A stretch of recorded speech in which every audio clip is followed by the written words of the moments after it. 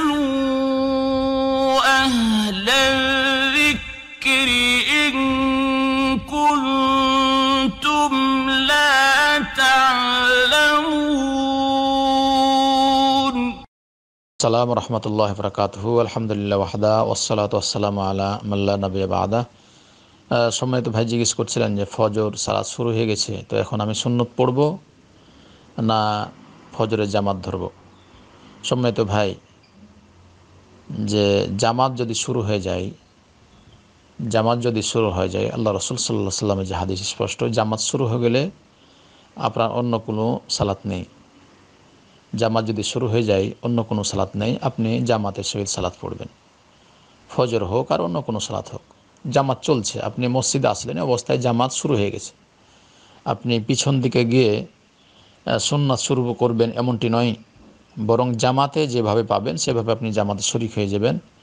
আপনার যদি সুন্নত বা অন্য কিছু যদি বাকি থাকে সুন্নত সালাদ যদি বাকি থাকে, সেটা আপনি পরে পড়ে নেবেন। ফজর, বিশেষ করে ফজরের কথা যেহেতু বললেন, আপনি জামাত ধরবেন। জামাত যখন শেষ হয়ে যাবে, দুয়া কালাম পড়ে, পরে আপনি সুন্নত আপনি পড়তে পারবেন, সুন্নত পড়তে পারবেন। এটা আপনার জন্য বেটার হবে এবং আল্লাহ রসুল সাল্লাহ সাল্লাম এভাবে করেছেন। জামাত চলা যখন জামাত চলে, জামাত ধরবে মানুষ। জামাত চললে জামাত ধরবে। তারপরে যে সুন্নত বাকি আছে, সেটা পরে পরে পড়বে, সেটা পরে পড়বে। কারণ জামাত চলাকালীন অবস্থায় জামা চলছে, আর এই অবস্থায় সুন্নাত বা অন্য কিছু সালাত পড়বে। সুন্নতের কথা বা মসজিদে প্রবেশের যে সালাত পড়বে, অনেকে পড়ে তো জামাত আগে ধরবে, তারপরে অন্য সালাত পড়বে। আল্লাহ সুবাহতাল্লাহ যেন আমাদের হেফাজত করেন। কারণ আল্লাহ বলছেন কান আলাকুম ফি রসুলিল্লাহ উসতুন হাসানা। যে তোমাদের জন্য আল্লাহ রসুল সাল্লাহ সাল্লামের আদর্শ হচ্ছে উত্তম আদর্শ। আল্লাহ রসুল সাল্লাহ সাল্লামের আদর্শ হচ্ছে উত্তম আদর্শ। এভাবে দেখা যায় আমাদের দেশে অনেক মসজিদে যে খতিব যদি খুদ্বাতে উঠে যায়, তখন সালাদ পড়তে নিষেধ করেন। খতিব যখন খুদ্বাতে খুদ্বা দেন, তখন সালাদ পড়তে নিষেধ করেন। জি না, আল্লাহ রসুল সাল্লা সাল্লামের আদর্শ, যে আল্লাহ রসুল সাল্লাহ সাল্লাম খুদ্বা দিছেন তিনি খুদ্বা দিছেন এ মুহূর্তে এক ব্যক্তি এসে সে সালাত না পড়ে বসেছেন, আল্লাহ রসুল সাল্লাহ সাল্লাম তাকে জিজ্ঞেস করছেন সালাদ পড়ার কথা? সে না, পড়িনি দুরিকে সালাদ পড়ে বসো। তার মানে খতিব খুদ্বা দিছেন এই অবস্থায় যদি খুদ্া দিচ্ছেন আসছে পেলেন, আপনি দুই রিকা সালাত পড়েন, তারপর বসেন, দিয়ে আপনি খুদ্া শুনেন। তো না দুই রিকা সালাত না পড়ে বসে যাবেন, এমনটি যদি না হয়। অনেক জিনিস অনেক জিনিস আমরা করে থাকি। আমাদের দেশে অনেক মসজিদগুলো দেখা যায় যে জামাত শুরু হয়ে গেছে, আর জামাত শুরু হয়ে গেছে, তারপরেও তারা শূন্যত আগে পড়ছে তার দেখা যায় জামাতের এক রাখা চলে গেল। তারপরে সে জামাত ধরছে, এটা ভুল আমাদের। আসলে এটা ভুল, এটা আল্লাহ রসুল সাল্লাহ আদর্শ নয়। যদি আল্লাহ রসুল সাল্লাহ সাল্লামের আদর্শ আপনি আমি গ্রহণ করি তাহলেই আপনার আমার জন্য কল্যাণ। আল্লাহ সুবাহ তালা বলছেন, কুল ইনকুম তুম তো হেব্বুন আল্লাহ ফাত্তাবি অনি ইহবিবুকুমুল্লাহ ও আকফিল্লাকুম দুনুবাকুম আল্লাহ গফর রহিম। হে তুমি বলে দাও, তোমরা যদি আল্লাহকে ভালোবাসতে চাও, আল্লাহর ভালোবাসা পেতে চাও, তাহলে তোমরা আমার অনুসরণ করো, তাহলে আল্লাহ সুবাহ তাল্লাহ তোমাদের ভালোবাসবেন এবং তোমাদের পাপরাশি ক্ষমা করে দিবেন। তিনি ক্ষমাশীল দয়ালু। আল্লাহ রসুল সাল্লাহ সাল্লামের আদর্শকে বাস্তবায়ন করাই মানুষের ইহকাল পরকাল কল্যাণ। আল্লাহ রসুল সাল্লাহ সাল্লামের আদর্শকে বাস্তবায়ন করাই মানুষের ইহকাল পরকাল কল্যাণ। আল্লাহ রসুল সাল্লাহ সাল্লামের আদর্শকে বাস্তবায়ন করাই মানুষের ইহকাল পরকাল কল্যাণ। তাই অনেকে অনেক কিছুই করছে, সেগুলাকে আপনার করতে হবে। যেটা হাদিসে আপনি পাচ্ছেন, স্পষ্ট হাদিস, সেটা আপনি গ্রহণ করেন।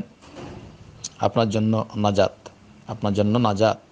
তাই ইমাম মালিক রহমাল্লাহ তিনি বলছিলেন, তিনি বলেছেন এভাবে যে ব্যক্তি সুন্নাতের, যে ব্যক্তি সুন্নাতের নৌকায় উঠেছে, সে পরিত্রাণ পেয়েছে।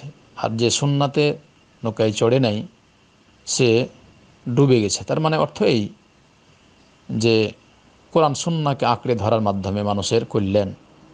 আর কোরআন সুন্নার বিপরীত আমল করাই অকল্যাণ। আপনি কোরআন সন্না, সহি সন্না সালাফুসাল্লাহগণ কী করে গেছেন, সেটা যদি আপনি বাস্তবায়ন করেন, তাহলে আপনার জন্য কল্যাণ হবে। আর যদি আপনি কোরআন এবং সন্না, সহি সন্না কী বলছে, এর বিরোধিতা করছেন, এর বিরুদ্ধে আমল করছেন আপনি, তাহলে আপনার নাজাত পাওয়া কঠিন হয়ে যাবে। নাজাত পাওয়া কঠিন হয়ে যাবে। তাই তো আল্লাহ রসুল সাল্লাহ সাল্লাম বিদায় হজ্জের ভাষণে তিনি বলে গেছেন, তারাক তফিক অমরাইন লান তাদিল্লু মা তামাসাক্তুম বিহিমা কিতাব আল্লাহ সুন্নাত নাবী। আল্লাহ রসুল সাল্লাহ সাল্লাম বলছেন, যে আমি তোমাদের মাঝে দুইটি জিনিস ছেড়ে যাচ্ছি, যতদিন পর্যন্ত এই দুইটি জিনিসকে আঁকড়ে ধরে থাকবে পশ্চিমকালেও তোমরা পথভ্রষ্ট হবে না। একটা হলো আল্লাহর কিতাব, অপরটি হলো আল্লাহ রসুল সাল্লা সাল্লামের সুন্নত। তাই আপনি আল্লাহ রসুল সাল্লাহ সাল্লাম আদর্শকে বাস্তবায়ন করেন। কোরআন সুন্নাকে আঁকড়ে ধরেন, আপনার ইহকাল পরকাল কল্যাণ হবে ইমাম মালিক রহমুল্লাহ তার মত্তা গ্রন্থে হাদিসটি এসেছেন তাই আমরা যে বিষয়ে যে আমরা সালাদ পড়ার ক্ষেত্রে আমরা প্রত্যেকটা ক্ষেত্রে যেগুলো এবাদত বন্দি আমরা করব, নেকির উদ্দেশ্যে, সেগুলোর পিছনে আপনার আমার দলিল থাকা লাগবে এবং দলিল আমরা যেটা দলিল পাবো, সঠিকভাবে যেটা দলিল পাবো, সেটা আমল করার চেষ্টা করব। আমি কি বললাম বা অমুক মানুষ কি বলল, কোন মানুষ কি বলল, কোন আলেম কি বলল যদি কোন আলেম বা কোনো মানুষের কথা এর বিরোধী যদি দলিলের কোরআন এবং সুন্নার বিরোধিতায় কথাবার্তা হয়, তাহলে সেটা আপনি মানবেন না। সে যে হোক গা। যেটাতে আপনি কোরআন, সুন্না, সহি সুন্না যেটা আপনি পাবেন, সেটা আপনি মান, মানার চেষ্টা করবেন এবং সেটাই আপনার জন্য কল্যাণ। এটাই আপনাকে ইহকাল পরকাল আপনার কল্যাণ হবে এবং সঠিক পথে নিয়ে যাবে। আবু হুরাইরা বলছেন, আল্লাহ রসুল সাল্লাহ সাল্লাম বলছেন যে পথ আমার মা মতের প্রত্যেকে জান্নাত যাবে, তবে তারা নয়, যারা অস্বীকারী। আল্লাহ রসুল সাল্লাহ সাল্লাম জিজ্ঞেস করে, হলো আল্লাহ রসুল সাল্লাহ সাল্লাম অস্বীকারী কারা? তিনি বললেন, মানা তো আনি দেখালাল জানম না আসমানি ফাঁকা দাবা যে ব্যক্তি আমরা অনুসরণ করল, সে জান্নাতে যাবে, আর যে অস্বীকার করল, সে জান্নাতে যেতে অস্বীকার করল, তার মানে সে যাবে না। ইমাম বখর রহমাল্লাহ হাদিসটি নিচ্ছেন তাই যে যে হোক না কেন, আপনি যেখানে থাকেন, আপনি যে হন না কেন, কোরআন এবং সহি সন্না মানার মাধ্যমে মানুষের ইহকাল পরকাল করলেন যে যত বেশি কোরআন এবং সহি সন্না অনুযায়ী জীবনযাপন করার চেষ্টা করবে, সে তত বেশি কল্যাণের পথে থাকতে পারবে। এই ফেতনার যুগে যে যত বেশি কোরআন এবং সহি সন্না অনুযায়ী জীবনযাপন এবং সালাফুসালেহগণ কোন পথে চলে গেছেন, সে অনুযায়ী যদি আপনি আমি আমল করি, যে ব্যক্তি করবে, সে তত বেশি কল্যাণের পথে। আল্লাহ বলছেন মাইয়তে রসৌলা ফাকাদ আত আল্লাহ। যে ব্যক্তি রসুল সাল্লাহ সাল্লাম আনুগত্য করল, সে যেন আল্লাহরই আনুগত্য করল। আল্লাহ রসুল সাল্লাহ সাল্লামের আনুগত্যের মাধ্যমে মহাসাফল্য লাভ করা যায়। আল্লাহ রসুল সাল্লাহ সাল্লামের আনুগত্য করার মাধ্যমে মহাসাফল্য লাভ করা যায়।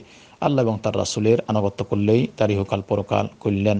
তাই আমরা যদি কোরআন এবং সুন্না অনুযায়ী জীবনযাপন করি, তাহলে আপনার আমার কল্যাণ হবে। তাই প্রত্যেকটি ইবাদত ক্ষেত্রে আপনি, আমি দেখব যে আসলে সহি দলিল যদি যখন আপনি পাবেন, জানবেন তখন আপনি যে আমলটি আগে করতেন, সে আমলটি যদি কোরআন এবং সহি শূন্যতে না থাকে, সেটা আপনি বাদ দিয়ে দিবেন। তাহলে দেখবেন যে এটাই মুক্তির পথ এবং এটাই কল্যাণের পথ। আল্লাহ সুবাহ তালা যেন আমাদের কাল পরকাল কল্যাণ দান করেন। ওয়াকরি দাওয়ান আলহামদুলিল্লাহ রবিল্লা আলমিন। সুবহানাক আল্লাহ হামদিকা আসাদ ইলাহ ইল্লা আনতা